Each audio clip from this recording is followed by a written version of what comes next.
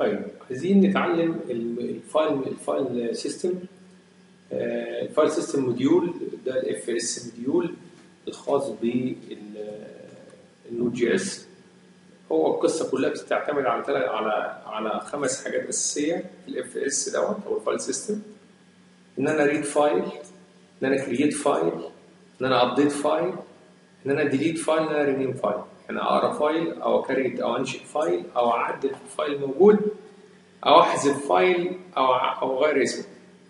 وبعد كده ناخد إزاي نعمل upload إن شاء الله.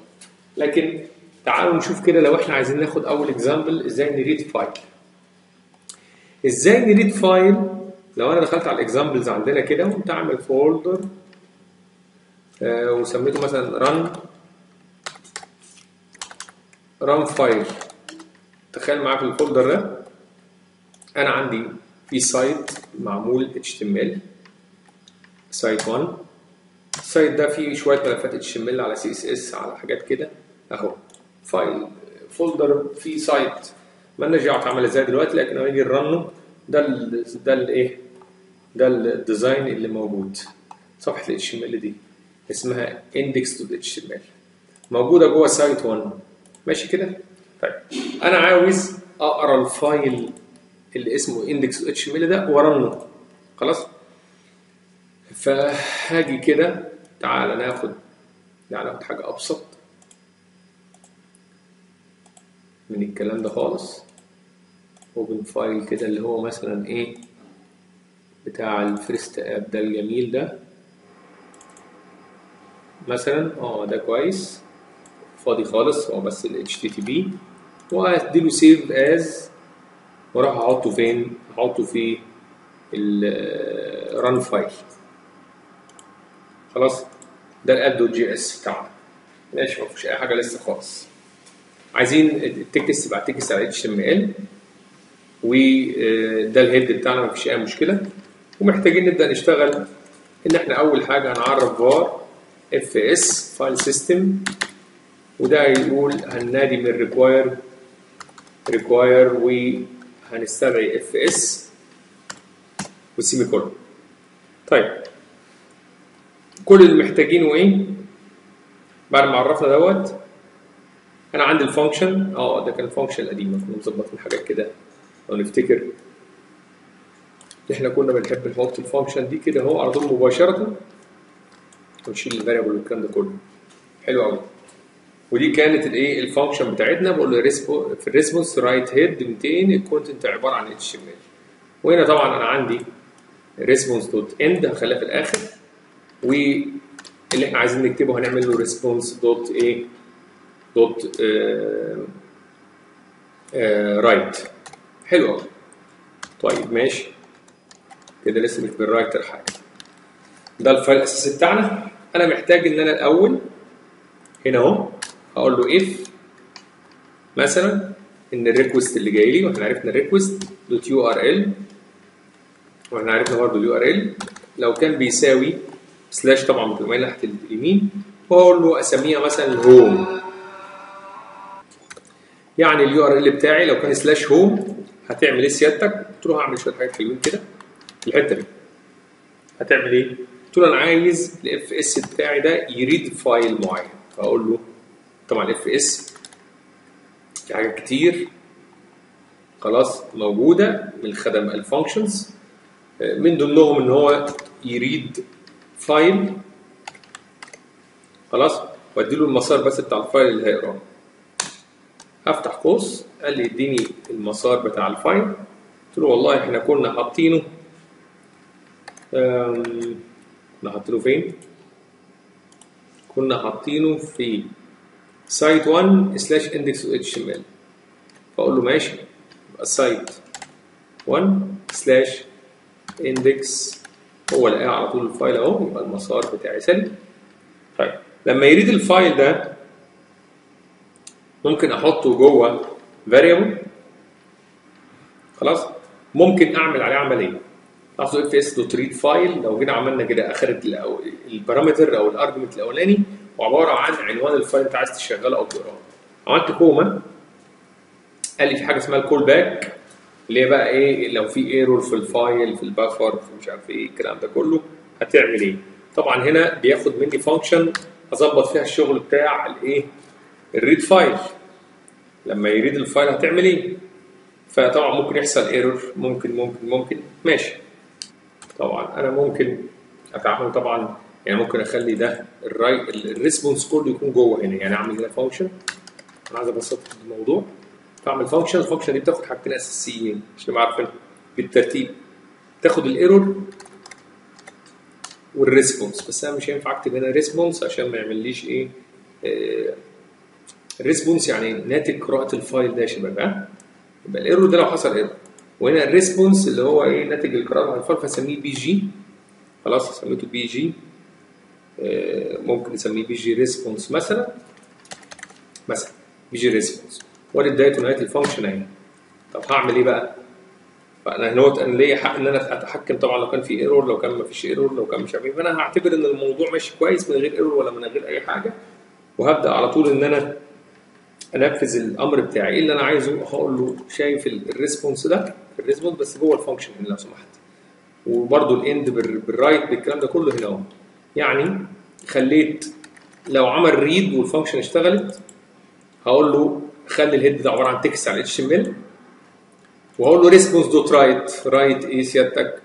قلت له أنا ه write الناتج اللي جالي اللي هو ال page response اللي جه. ه write ره كله. و response دوت إيه؟ dot end خلاص كده؟ يبقى الحالة دي أنا كده إيه؟ طب نجربها. يعني هي كل فكرتها إن هي read المسار ده. خلاص في function هتشتغل. ال function دي بتاخد error لو في error وبتاخد page response لو كان في إيه نتيجة رجعت من قراءة ال file ده. اللي هو عبارة عن كود ال HTML مكتوب جوه ال index dot HTML فأنا قمت رايت هيدر ان ده اتش تي ام ال وقمت مرايتر كل اللي هي قريته وقفلنا على كده. لو جينا آه نجرب الكلام ده.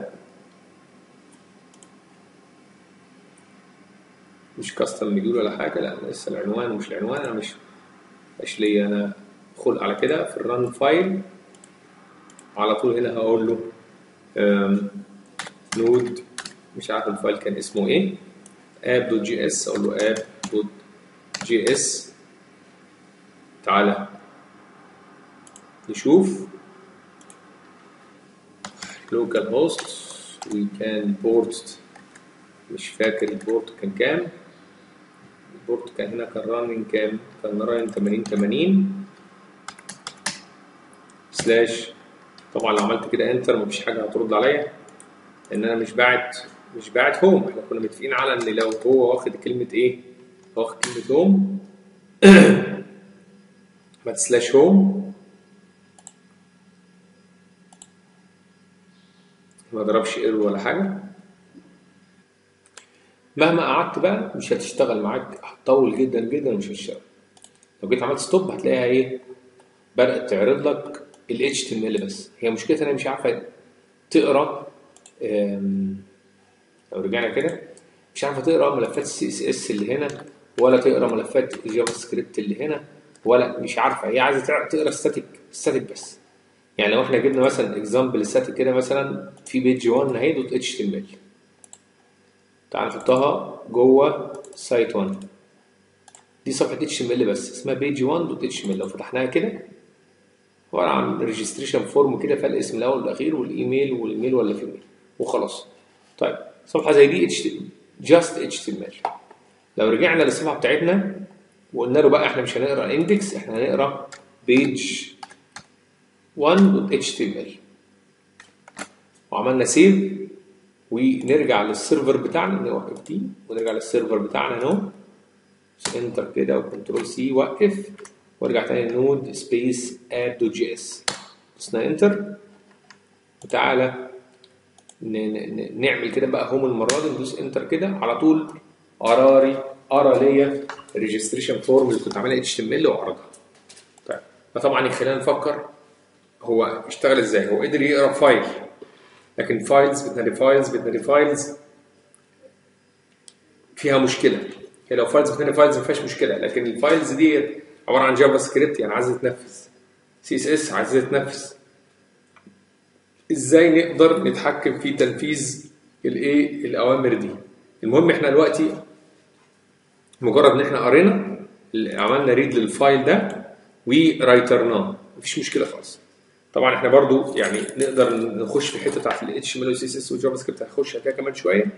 لكن هنا بس عايز أوضح فكرة طب افترضنا حصل error افترضنا حصل error المفترض إن أنا ممكن أجي not اقوم قايل if إن ال error true يعني لو حصل error بجد هعمل شوية أوامر else.